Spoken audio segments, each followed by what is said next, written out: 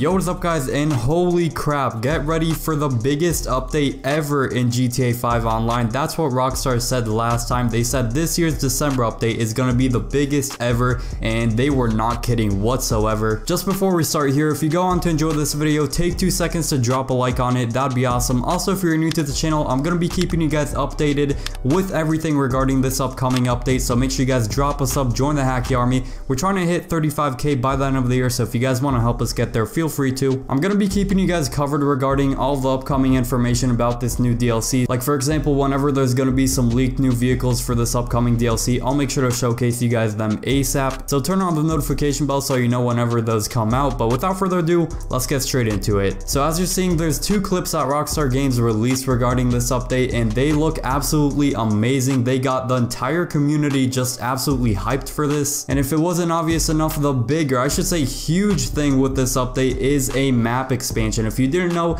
there's gonna be a huge new island added to the game. It's a really cool looking tropical island and at first I didn't know how big this was gonna be. I was kind of skeptical on how big this island was actually gonna be, but I'll show you guys a part of a clip that shows how big this island really is and I mean it's huge. It's not as big as the map itself obviously, but I mean it's definitely a very healthy size. If I had to make a bold prediction, I'd probably say it's about 20% the size of the actual map right now, so it might not sound like a lot, but it's actually huge. Like 20% of the entire map we have right now is huge. And in one of the clips, you can see a plane landing as well, and I'm actually super hyped for that feature. I don't know why, but I find it super cool that we could just like go from LSIA and just land on a whole nother island without any mods in the game. I hope in GTA 6 there's gonna be more than one like major city and then we could go from one airport to another. I find that to be super cool. So as you guys already saw multiple times, the release date for this is December 15th, which is I think about three, maybe three and a half weeks from when I'm recording this. So I definitely think it's a great time to release it right before the holidays. So good job Rockstar. And it looks like also a big part of this is gonna have to do with submarines. As you guys can see,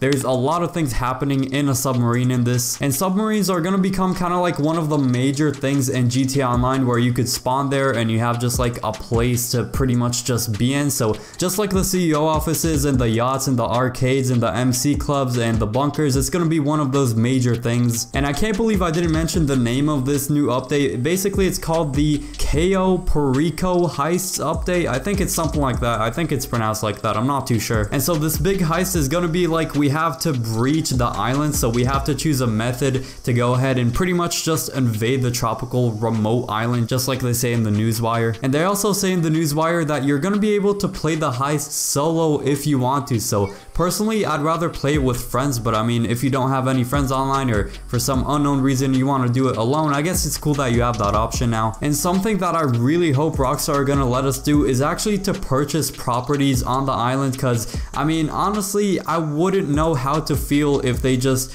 brought a giant island into the game only for a heist or only to just walk around in. I really hope there's gonna be like shops and we can actually buy houses there. I think that would be extremely cool. Rockstar also confirmed there's gonna be new vehicles and weapons, which honestly I would hope for in the biggest update ever in GTA Online, but that's always good to hear. So to conclude this, I am extremely excited for the biggest update ever in GTA Online. Finally, a new location in GTA, a big, big map expansion. This tropical island looks amazing. We're going to be having tons of fun on it, doing heists and just messing around in free roam as well. And as much as it hurts to say, I think this will be the final update ever in GTA 5 Online before GTA 6. So I think they just saved the biggest and best for last. We'll just have to wait and see what's going to be happening in 2021. Once again, I'll update you guys if there's any more leaked vehicles or weapons or just any more actual good information about this upcoming DLC. But hopefully you guys did go on to enjoy this video. Hopefully you did go on to find it helpful. If you did, make sure you guys take two seconds to drop a like on it. Subscribe if you guys are new. Once again, join the Hakiii Army